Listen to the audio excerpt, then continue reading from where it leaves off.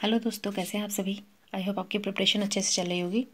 तो देखिए, मैं फिर से आप आपके सामने जो है शेक्सपियर से रिलेटेड कुछ नया लेकर आई हूँ, जो कि आपकी एग्ज़ाम के पॉइंट ऑफ़ व्यू से बहुत ही इंपॉर्टेंट है।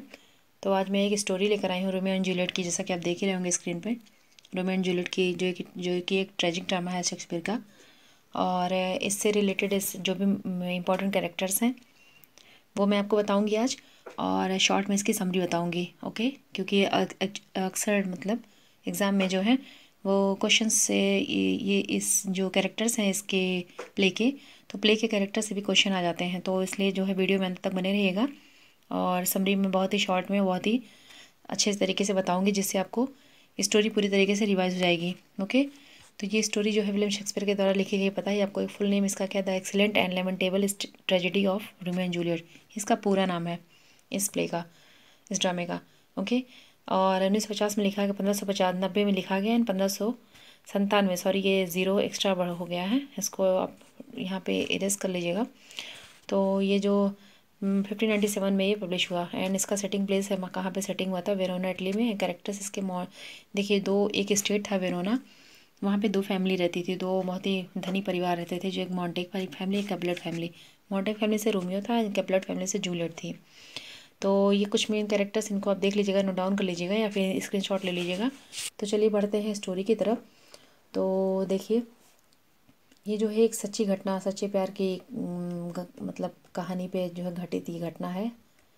तो ये स्टोरी जो है वेरोना नाम के एक स्टेट है, जिस, जहाँ पे, जहाँ के राजकुमार प्रिंस एस्कलस थे। और यहाँ पे दो बहुत ही फ़ेमस फैमिलीज़ बहुत ही कहते हैं, बहुत ही प्रसिद्ध ख़ानदान रहते थे। और एक थी कैपलेट फैमिली दूसरी थी मोन्टेक फैमिली दोनों फैमिली से एक दूसरे को हमेशा नीचा दिखाने में आपस में लड़ते रहते थे।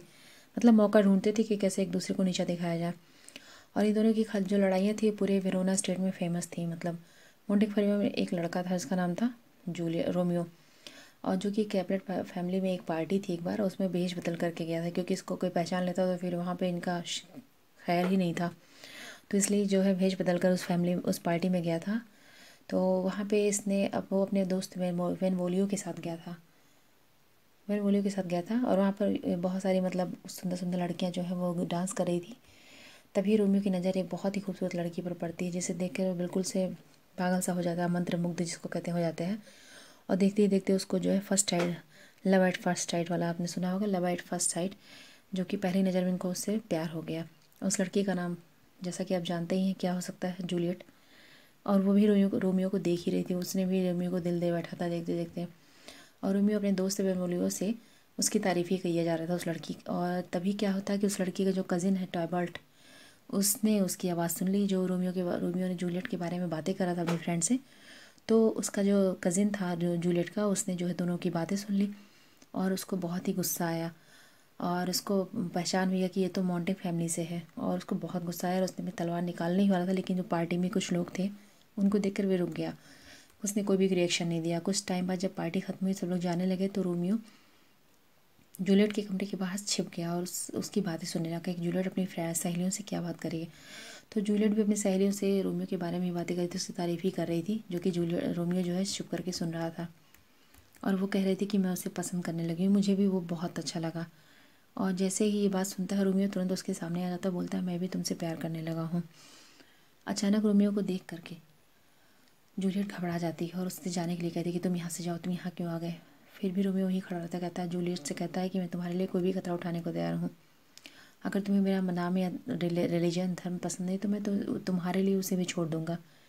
दोनों एक दूसरे का साथ निभाने का वहाँ पे वादा करते हैं, शादी करने के लिए। दोनों एक दूसरे के लिए मतलब वो प्रॉमिस वगैरह करते हैं। और फिर वहाँ से रोमियो फ्रियर लॉरेंस के से मिलने गया। फ्रियर लॉरेंस कौन था? ये एक ऐसा व्यक्ति था जो कैपलेट और मोन्टेक दोनों फैमिली का अच्छा फ्रेंड था मतलब कॉमन फ्रेंड था दोनों फैमिली का। तो रोमियो अपने दिल की सारी बात उसने बताई उससे कि मैं जुलियट से शादी करना चाहता हूँ, मैं उससे बहुत प्यार करता हूँ। ये सुनकर फ्रियर लॉरेंस से सोचा कि अगर मैं इन दोनों की शादी करवा देता हूँ तो अच्छा ये दोनों फैमिली की दो दुश्मनी ख़त्म हो जाएगी। इसलिए उन्होंने दोनों की शादी करने का मन बना लिया। एक दिन जब रोमियो अपने दोस्त बेनवोलियो के साथ शहर में घूमने गया था, तभी उसकी मुलाकात टैबल्ट से हुई। टैबल्ट जो रोम उसका जूलियट का कज़िन था उसको देखकर उसको बहुत गुस्सा आया। वो दोनों अपशब्द आपस में, दोनों में होता नहीं, बात बात, बातचीत होने लगती है, तेज़ मतलब आर्ग्यूमेंट्स होने लगते हैं और बात इतनी ज़्यादा बढ़ जाती है कि धीरे धीरे बात इतनी बढ़ गई कि दोनों ने तलवारबाजी करने लगे। जिसमें टाइबाल्ट की मौत हो गई। अब ये खबर पूरे स्टेट में फैल गई। वेरोना के राजकुमार प्रिंस जो एस्कलस थे, उन्होंने टेबल की हत्या के जुल्म में क्या किया? रोमियो को वेरोना के रास्ते बाहर निकालने की सज़ा सुना दी कि इसको यहाँ पे रहने का कोई हक नहीं है। तो ये खबर सुनकर जूलियट को पहले तो बहुत गुस्सा है कि उसने मेरे भाई को क्यों मार दिया। फिर उसने सोचा कि ज़रूर टेबल्ट ने कोई गलती की होगी। फिर सजा होने के बाद रोमियो फिर फिर से फ्रेयर लॉरेंस के पास गया और उसने सारी बात बताते हुए कहा कि मैं जूलियट से बहुत प्यार करता हूँ, मैं उससे शादी करूँगा। तो उसी से करूँगा, नहीं तो मैं मर जाऊँगा। फिर लॉरेंस ने रोमियो की सारी बातें सुनकर कहता है कि मैं तुम्हारी शादी जूलियट से ज़रूर करवाऊँगा, ये मेरा वादा है तुमसे, लेकिन तुम अभी राज्य छोड़कर जाने से पहले एक बार जूलियट से मिल लो। उसको खुद के लौटने का यकीन तो दिला दो कि मतलब उसको लगे कि तुम आओगे। तो रोमियो और जूलियट के पास जाता है, वो दोनों जो है अच्छे से बातें होती करते हैं प्रॉमिस वगैरह करते हैं। और थोड़ा सा दोनों उदास होते हैं क्योंकि सुबह ही रोमियो को राज्य छोड़कर जाना था। अगले दिन जब रोमियो चला गया तो जूलियट के माता पिता ने उससे बताया कि उसकी शादी पेरिस नाम के, जो काउंट पेरिस की करेक्टर है ना, वेरोना का जो प्रिंस है, उससे उनकी, उसकी शादी को उसके पेरेंट्स ने तय कर दिया है। और ये सुनकर जूलियट बहुत बे, बेचैन होती है, उसने कुछ समझ में नहीं आता कि वो क्या करे, बहुत परेशान होती है। फिर जूलियट भी फ्रियर लॉरेंस के पास गई और सारी अपनी बात बताई उसको।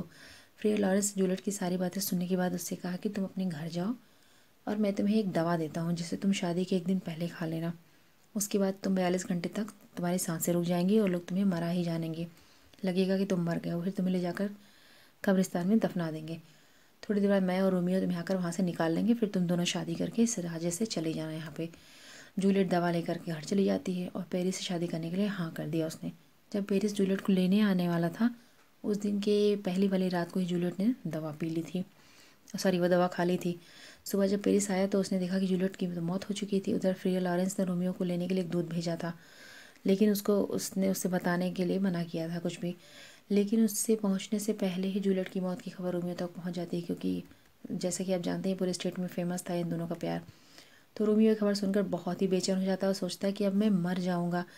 मैं क्या करूँगा जी करके? वो कब्रिस्तान की तरफ़ दौड़ता हुआ भागता हुआ जाता है। रास्ते में एक जहर की बोतल ले लेता है और कब्रिस्तान पहुँच वही तोबत खोलने की कोशिश करता है, जिसमें जूलियट दफनाई गई थी। जिसे देखकर पेरिस, जो कौन पेरिस है, जो थोड़ी देर वहाँ रुका रहता है, उसको दफनाने के बाद फैमिली चली जाती है, बट वो थोड़ी देर वहीं रुका रहता है। लेकिन वो उसको कब्र से निकालना चाहता है, लेकिन पेरिस उसे रोकता है और वो नहीं मानता। है रोमियो ताबूत खोल कर जूलियट को जी भर के देखता है, उसे प्यार भी करता है। फिर सोचता है कि जब मेरी जूलियट इस दुनिया में नहीं रही तो मैं यहाँ रहकर क्या करूँगा? और वह जहर निकाल कर पी लेता है, जिससे वह मर जाता है। थोड़ा और फिर कौन पेरिस वहाँ से चला ही जाता है? थोड़ी देर बाद जब जूलियट को होश आता है तो वह देखती है कि उसका रोमियो मर चुका है। तभी वहाँ फ्रेयर लॉरेंस भी आ जाता है। और वह जूलियट को बहुत समझाने की कोशिश करता है, लेकिन जब जूलियट जहर की खाली बोतल देखती है तो वो सब समझ जाती है कि रोमियो के होठों को चुमने लगती है कि जिससे कि उसके आ, मतलब उसके होठों पे किस करने लगती है लिप्स पे जिससे जो भी जहर उसके लिप्स पे लगा है वो उसके अंदर चला जाए और वो भी मर जाए। लेकिन उसके लिप्स पे बहुत ही कम जहर था जिससे उसका असर नहीं हुआ। तभी जूलियट ने अपने पास रखे खंजर को निकाला और ख़ुद को मार दिया उसने। तो इन दोनों की मौत की बाद दोनों ख़ानदानों ने अपनी दुश्मनी को ख़त्म कर दिया और दोनों परिवार ने मिलकर रोमियो जूलियट की एक बहुत बड़ी मूर्ति बनवाई। इसी वजह से जो है, आज भी इनके प्यार की चर्चा जो है, बहुत ही ज़्यादा होती है, जैसा कि आप जानते हैं। तो बहुत ही फ़ेमस ये प्यार कहाँ, प्यार प्रेम की कहानी है रोमियो और जूलियट की। तो दोस्तों, कैसा लगा आपको ये स्टोरी कैसी लगी आपको ये समरी शॉर्ट में। बट डिटेल में मैंने बताया एज ए रिवीज़न में बोली, मैं रिवीज़न क्लास लेकर आई हूँ तो कुछ भी आपको फालतू की चीज़ें नहीं मैं बताऊँगी। कैरेक्टर्स आपके सामने हैं स्टोरी मैंने बता दिया। आप चाहो तो एक दो बार इस प्ले वीडियो को प्ले करके देख सकते हो एंड तक।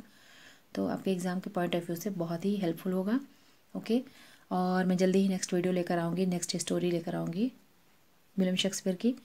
जो भी इंपॉर्टेंट स्टोरीज वैसे तो इनकी बहुत सारे प्लेस है। आपको पता है थर्टी सेवन प्लेस इन्होंने लिखा। थर्टी सेवन प्लेस तो मैं नहीं लेकर आ सकती हूँ।